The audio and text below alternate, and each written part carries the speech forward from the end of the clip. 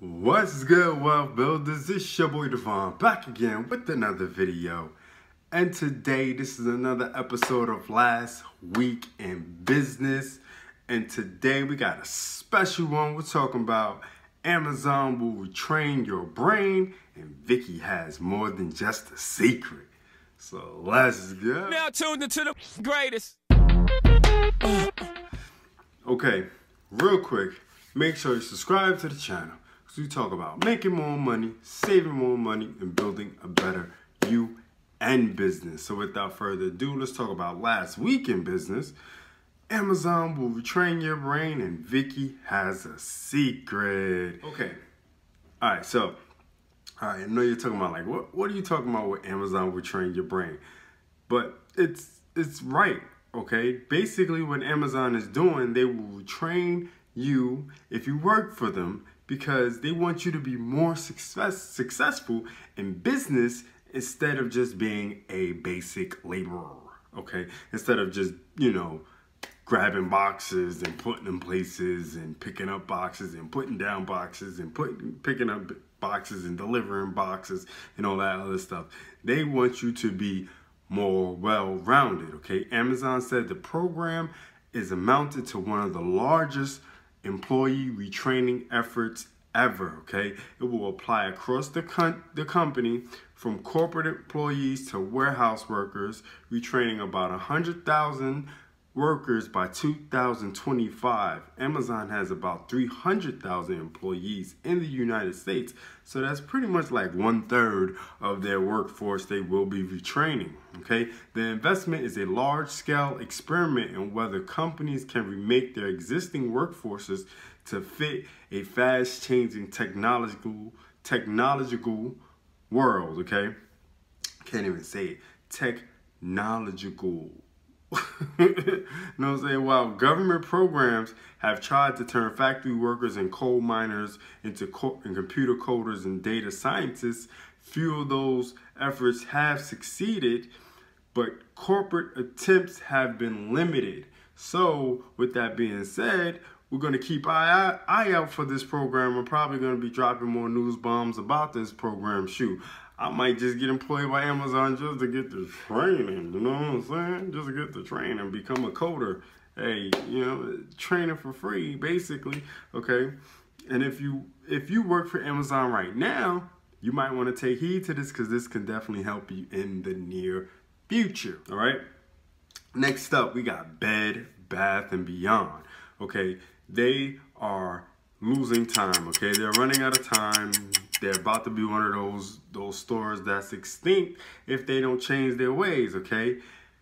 As per CNN, Bed Bath & Beyond is struggling to keep up with the changing times of how people shop, aka shop online or want a shopping experience when they go to shop, okay? They are going to be closing around 40% of their locations. Ugh, that's a lot of stores, okay?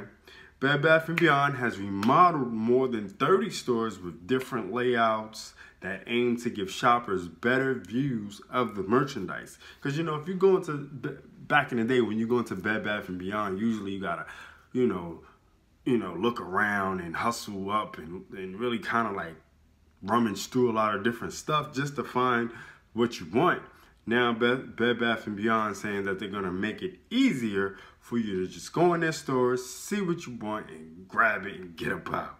Okay? So basically, it is testing new ideas in these lab stores that sell more home decor, food, and health and beauty care than traditional stores. Okay, Bed Bath and Beyond hopes it can take what's working in those stores and roll it out store wide. Okay, that means company wide, every store, everything that's still open, they want to roll it out. They want to roll it out.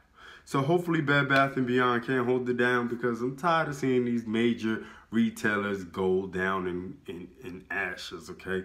But we'll see. You never know.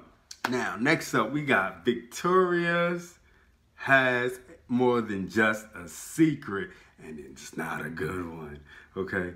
As per CBS News, Victoria's Secret parent company L Brands stock is down as Jeffrey Epstein ties emerge, okay? If you don't know who Jeffrey Epstein is, well, he is the rich guy who has been arrested and charged last Monday at the time of this video with the sex trafficking of underage girls, and this could further sink the fortunes of the ailing lingerie retailer, damaging a brand that already has seemed out of touch in this current Me Too era okay? Because they're still flaunting women around, they're still showing off bodies, and in this Me Too era, you know, these women are not really feeling that type of stuff. I love it. I know I'm pretty sure the average male that watches this show loves it, but these women, they, you know, they're not really feeling it, okay? So I'm just saying. It is what it is. Now, this secret has come to light, and this will definitely affect L brand stock price. So if you invest in, you know, companies like L brands and retailers and things like that, you want to be on the lookout for something like this because this can definitely mess up your stock, you know, income if you if you if you're investing for if you're in a if you're an income investor, this can definitely mess you up. So just saying be on the lookout for that. Okay, now hey, you slacker. You can't beat my team. No, as per CNBC, over 13 million people use Microsoft's Teams app for for for chat, meetings, and document collaboration every day, and they are beating.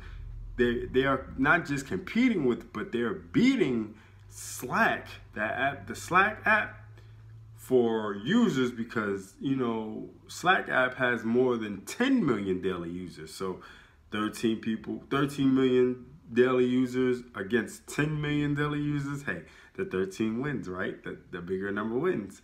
But Microsoft Executive VP Rajesh Jha, who oversees Office, including Teams, says the app has started helping Microsoft use email for what it's best for instead of as a default. So basically, using the Teams app has definitely helped them in certain aspects and things like that. Honestly, I don't use either one. I'm not an avid user of either one, but I've heard of Slack. I've never heard of Teams app. All right, so now basically it's Teams app versus Slack. So what I want you to do now, let me know in the comments below if you use both and what's the difference, okay? I don't know what the difference is. I've never used either one of them.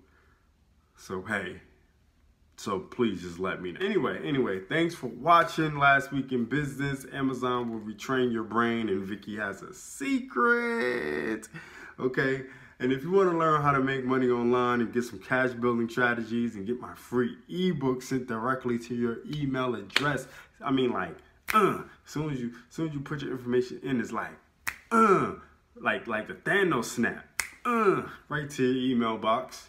Go ahead and click the link below wealthbuilderzsystem.com okay? Check it out click the link below put your information in. You'll get the um you'll get that free ebook sent directly to your email box all right and you'll be on my email newsletter at that point and you'll get more emails from me you'll get you'll stay up to date with all my videos you'll stay up to date with all the any opportunities business opportunities that i think are interesting. And i'm also building the wealth builder system which is going to help you make more money save more money and build a better you and business. So without further ado go ahead and click that link below and again thanks for watching last week in business peace it's the Wealth Builders, baby. All right, so you've reached the end of one of my videos. Thank you for subscribing. Thank you for watching. You can go ahead and check out another video here or another here, or you can go ahead and subscribe there. But anyhow, Wealth Builders, do remember, make more, save more, build more. Peace.